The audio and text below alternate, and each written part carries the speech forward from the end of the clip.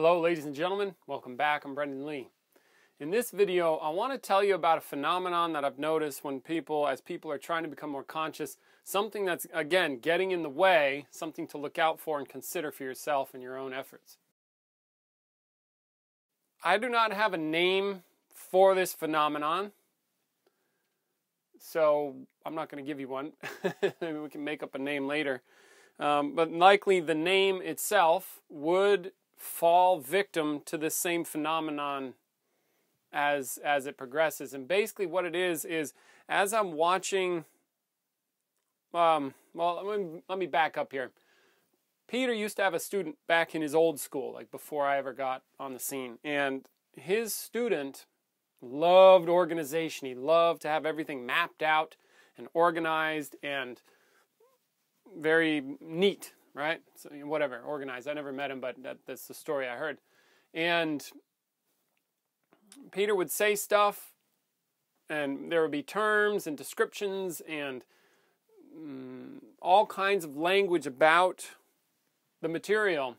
And this guy would have it all mapped out, and then at some point, Peter would would change it. He would say, "Okay, this word that I'm using for this, no longer using that," and then he would change it.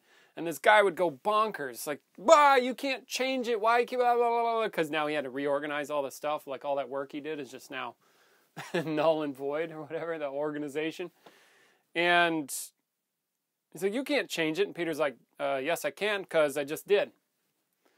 And I didn't quite understand why. Like, oh yeah, why change it? Why why this something to do with language about the things.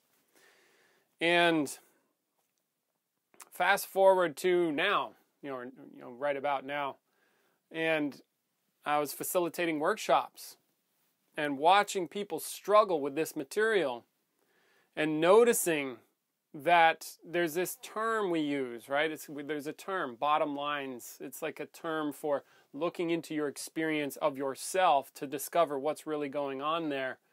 And we call it like bottom line contemplation. And I was seeing people work with this bottom line, right? Words and getting fixated. So here's the, the phenomenon I'm talking about, talking about they'd fixate on the bottom line as probably a concept they have about what they hear and mistake the concept for the thing. And so then, bottom line, you know, I would say, hey, work on your bottom lines and then watch carefully. And as a facilitator, watch carefully what happens and see, wait a minute, they're, they're off, they're missing, they're in a trap and they don't realize. And so I stopped using that terminology this last retreat. I started, I'm, I've been taken to breaking up the terminology. And luckily, which is cool, that we actually have, often we'll have an international attendance. So we've got people from different countries, ergo, different languages. They speak many different languages. So I'm like, all right, what's this in your language? And what's this in your language? And we hear these different sounds referencing the same thing to try to rip people off the sound and avoid this trap that I'm talking about, this concept trap, if you will. You know, you know mistaking the concept for the thing. And so then now I see why Peter would go down these roads, you know, with his old student there who's got these things fixed and then say, no, unfix them. And then you might think, as I thought about the student, it's like, oh man, now he's got to do all this extra work, and why not let him have it organized? Well, isn't it just a word? Or what, what do you, why are you messing with the language? And I think if people are thinking along these terms, as perhaps I was, you don't understand what you're talking about. Which is to say, you probably don't facilitate people or try to get them to get this stuff for real and it it's uh, when I see something's not working as best I can, I switch, change, or modify what I'm doing so that I can get through, right? And that's the challenge of the that's a big challenge for myself and when people are working on this stuff. And it seems to me that the tendency for just people as a whole is to make up concepts about what they have and confuse the concepts for the thing itself. And we get lost in that, especially in maybe spiritual work, consciousness work, um, having insights and breakthroughs. I suspect this even happens in science. Religion's just fucked. and they never started with an experience, it's all a belief. Um, in terms of grasping stuff like this, they would just believe what is said, right? So, why when I look at other spiritual communities or look at what other people are promoting online, then they have a many, many followers. It looks to me like, and you know, uh, have a fifth dimensional thinking.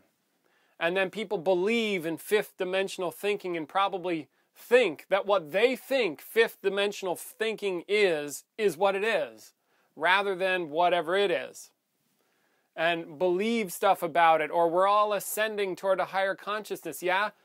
Do you believe that just because somebody said it? And, or, oh, you have a consciousness, you are nothing. So then people make some shit up about being nothing and then confuse the shit they made up with the nothing, like the reality. And they don't realize that they've made it up and fixated on the made up thing. You know, like there's a quote that Peter will say, was on like the old website, something like, in essence, you're fucked if you do and fucked if you don't. In order to teach somebody something, you have to give what you're talking about a name. But as soon as you give it a name, the people fixate on the name and likely the concepts as if that's the thing that you're talking about. And the fixation is strong. But if you don't give them a name, then they're just lost in empty space, you see? So it's like, how do we, we need a way to focus. You know, and I, again, I paraphrase that quote, it's something like that. And say you're working on enlightenment, right? Now, right away, this is like a hot button word. You got to be very careful what, you know, what am I saying when I say enlightenment versus what do you think it is? See? What do I mean? What am I talking about? And so I give the name to give it direction. But don't get stuck on the name. Enlightenment is just a word, it's a sound, right? Then there's then there's an experience to be had or whatever, you know, enlightenment. Mm, there's not an experience, but that doesn't matter. There's something to get. Kind of like kind of like you could do this with me, right? You read a book about riding a bike. Is that anything like riding a goddamn bike? No.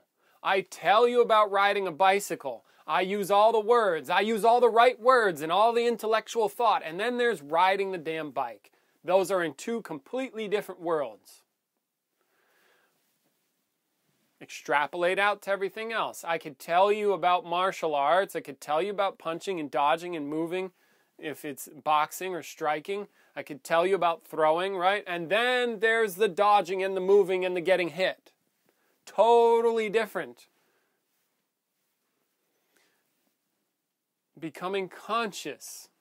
There's what is said about becoming conscious. There are the descriptors that are used. There's the representation of the experience to be had right there for you. All the song and dance is there. And then there's you becoming conscious. Not what you think about it, not what you feel about it, not what you make up about it, not your perspective about it, but it. You see how much that's like not your shit, not what you do, it's what's true. Hmm? Well, you see how easy it is to get lost in the thinking about it, right? Ah, you can become conscious. See, listen, ready? Watch what happens.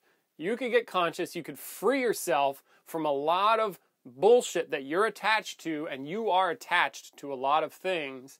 You could have a direct consciousness of your true nature, and you would experience sudden freedom, likely, and a massive state shift, likely, and you would have a deeper understanding of your own nature and you're infinite. now, all that bullshit I just said, did you grasp that for real when I said it? Do you now have an experiential understanding of what I just said that is not a concept? That is not a, an experience, like a, um, it's not a perception you're having, but it's the thing itself. Did you suddenly have a sudden increase in consciousness of your nature when I said that? If no, then all you've got is concepts about it. And I'm still talking about something that you could grasp, something real. And yet, the concepts reign king or queen or whatever the fuck. You see, the concepts are the thing. What you think about it is what falls into your attention easily. But what you think about it is not what it is. It never was. See, and yet I have to use a language, some representation to try to communicate something to you. I have, I'm trying to get something across, so I do the shit, right? Talking, sound, video, whatever. Do you get it? You see, there's this, it's the getting it part that I think is missed. And people seem to confuse their concepts about grasping something or what they feel about grasping something or what they some state shift about becoming conscious and they confuse all the shit they ha- that happens to with the thing. And it's not the thing. It's not what we're after. It's not the truth. It's not what's going on. It's just stuff right? So this is something to look out for. So yeah brendan well what do you do about that? Well one recognize it's a possibility Two, be honest with yourself and notice when you're working. Like get brutally honest. Like stop fucking around kind of honest. The kind of honesty that like kicks your ass, you know? that that rakes your mind over the coals, it evaporates all the lies that you live with. And you live with a ton, I am sh- certain. How do I know? so you live in this world that you think is real without knowing the truth and then you just buy you just whatever comes to mind when I say something or like your teacher says something whatever comes to mind you likely confuse whatever comes to mind with the thing when it comes to becoming conscious. That seems to be the norm. And so then you're like what do I do? Well one get brutally honest. Two get more honest and be like and what do I really grasp for real about this three open up to a possibility of becoming conscious. And what this is, is a open up to the possibility of you grasping something. And when I say grasp, I mean get it, have an insight, make a breakthrough. This is a non intellectual, sudden huh about some matter, whether it's a direct consciousness, understanding more deeply how some the relative nature of something, how something in the world works, you ah, you get it. Yeah. And if you've ever got stuff, got stuff before, you know there's a quality of like a sudden understanding about it. Or a new understanding that is not like a not just spinning your fucking wheels, which like we have some guys here and you know, at least one of them I can see. It's like he just spins his wheels, but he doesn't realize he's just stuck in his own world. Or, we, or reminds me of a, another guy we had at a workshop once, and man, he was so locked into his intellectual world that he couldn't think outside of it, and he had no idea. All right, this motherfucker had no idea that he was lost. And as a facilitator, I'm like, I can't there's no permission for physical violence, so that just takes that off the table, right? So I can't I can't go slap him around, which I think is what it really needs at that point, like a little bit, you know, you know, shake up the body a bit. Whoa, like fuck. Like, hey, you know you're in your mind, like, yeah, well it's a concept, and then you bang, slap him. that concept? Oh fuck, there's this other thing going on, right? Like you can't fuck with that. Like, oh yeah, I'm so smart. Oh, my intellect is so powerful. Oh, yeah? Riddle me this one. Or like Mike Tyson, he's like, everyone's got a plan until you get punched in the face. See, because there's something else going on. See, but he was lost. And then, so, okay, anyway, I went on a sidebar there. He was totally lost. And then what do I do? Aside from getting physical. You know, apparently as Zen guys, they, they would hit each other with sticks and shit and punch each other. I can see why. Because this has likely been a problem from the beginning a long time ago, you know, it's and it's easy to fall into this trap of the concepts dominating, like think mistaking the concepts for the thing itself. And so you try to break it up a bit or say things to confuse the mind on purpose, to shake it up a little bit, or you know, just shake up the thinking. So now I suspect this guy who's here at the workshop, he is he is so locked into his intellect like that. I mean, it's great for cocktail parties. Don't get me wrong. I love an intellectually stimulating conversation. These are fantastic. Love it. Totally fun. You know, but it doesn't really uh, hold a candle to this other stuff in that sense you know, actually grasping something about which then you can intellectualize or write the book yourself. You write the book. See, that's all an intellectual, like, here, let me describe stuff and help try to point people in a direction. Blah, blah, blah, See, but at least it's backed up by a genuine experience. I bet this guy's going to take it to his grave. He's lost, completely lost in that. At some point I was just like, fuck it, okay. Be in there. I don't you know, if you're gonna if you're gonna hang on to that so stubbornly, I'm not gonna I'm not gonna push the matter. You know. I mean, I'll push it as far as I can, but fuck it. At some point, it's like fuck it. So then, now you're on your own. So another thing that I think is beneficial for others is, and this is probably the main thing, the the ultimate the main ultimate fucking thing you can do and also really a huge thing is to realize if you want to become conscious it's on you. It's you. It's your consciousness. You becoming like no teacher can do that for you no book can do that for you. No, nothing can do it for you. Same with learning anything.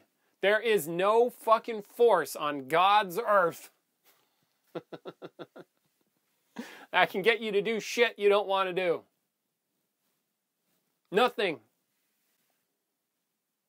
You know, I mean, maybe we could torture you and you'd be very motivated, but likely you just would, blah, blah, blah, you know, it wouldn't work. And again, still, if you don't want to do it, it ain't happening. So I think something very powerful for people to do is to realize that they're responsible. They are the ones that have to fucking take the action. They are the ones that have to get conscious. Like Buddha didn't sit around waiting for a teacher to tell him what the fuck. He studied with teachers, I hear tell, and surpassed them. Quickly, I heard. Now, what kind of a student does that? You sit down, he's probably like, I'm going to fucking get this. I'm going to figure out what the fuck's going on here. Uh, me, not you tell me.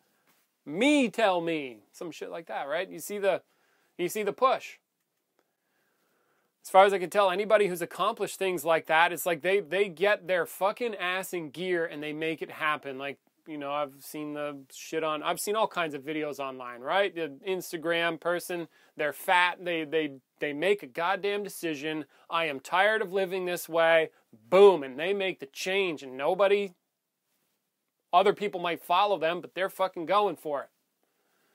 You want to get conscious? It's the same. You've got to do it. You want to learn something? You've got to fucking learn. Who else is going to do that? It's you. You are the one.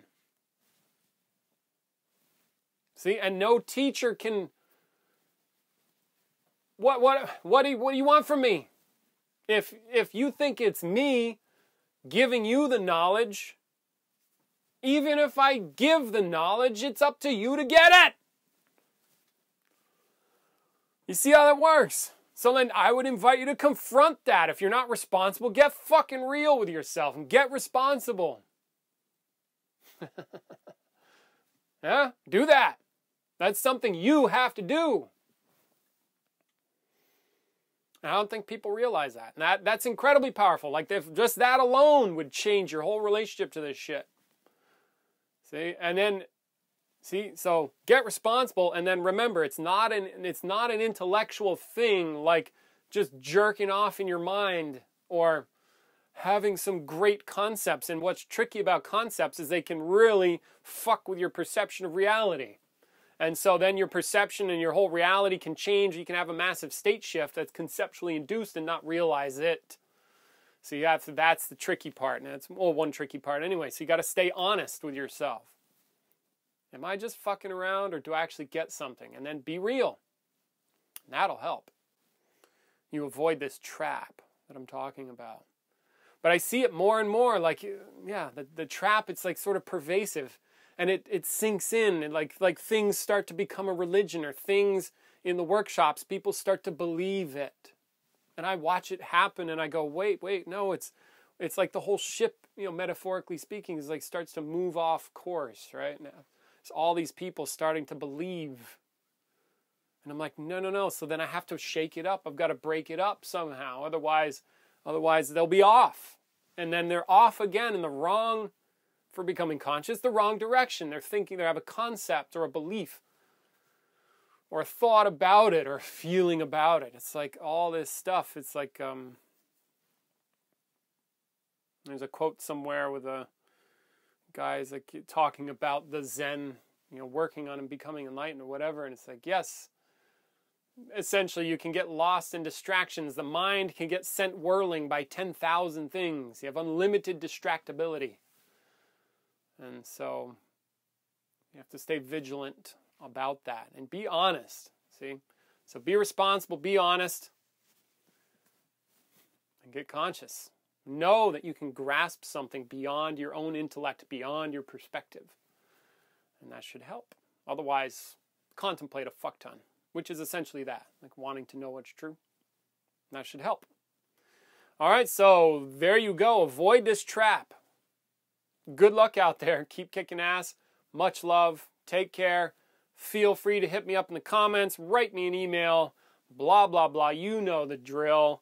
Go to the website, look up the workshops, come here and do a workshop. They kick ass.